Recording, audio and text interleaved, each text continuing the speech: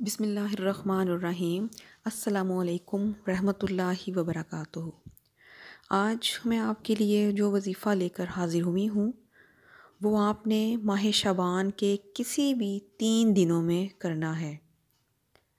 शाबान एक बाबरकत महीना है, क्योंकि ये महीना हज़रत मोहम्मद सल्लल्लाहु अलैहि वसल्लम का है। और हमारे नबी सल्लल्लाहु अलैहि वसल्लम ने फरमाया कि मुसलमानों को जब कोई दुख, तकलीफ़ या परेशानी आती है तो अल्लाह ताला उसके बदले हमारे गुनाह माफ़ फरमा देता है। बेशक हमारा रब बड़ा रहीम व करीम है और सब्र करने वालों के साथ है। हमें अल्लाह ताला की रज़ा पर राज़ी रहना चाहिए कि मालिक, तूने हमें छोटी तकलीफ़ देकर किसी बड़ी आफत से बचा लिया। माह शबान में अगर आप चाहते हैं कि आपकी हर दुआ कबूल हो, हर कदम में कामयाबी हो। मुसीबतों और परेशानियों से छुटकारा मिले तो शाबान के इन आखिरी दिनों में ये वजीफ़ा करें।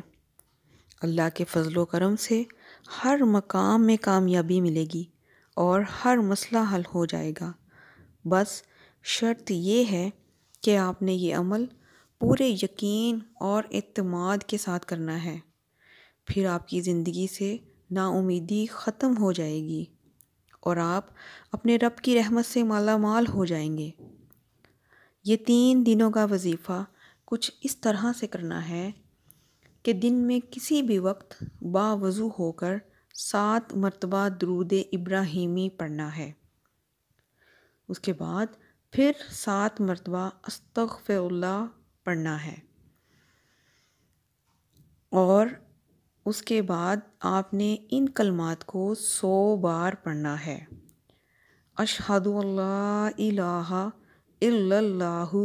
या अल्लाहु, या समीउ, या हक्कु। और आखिर में फिर सात मरतबा दरूद इब्राहिमी पढ़ना है। फिर अपने रब से सच्चे दिल के साथ आँखें झुकाकर, निदामत में डूब कर दुआएँ मांगें और अपनी ख्वाहिशात की इल्तिजा करें। मेरा रब आपके नसीब को बदल देगा और आप जो मांगेंगे अल्लाह पाक आपको अता फरमाएगा इन वीडियो पसंद आए तो शेयर ज़रूर करें ताकि दूसरे लोग भी इस वीडियो से फ़ायदा उठा सकें और मेरे चैनल को सब्सक्राइब कर दें। शुक्रिया।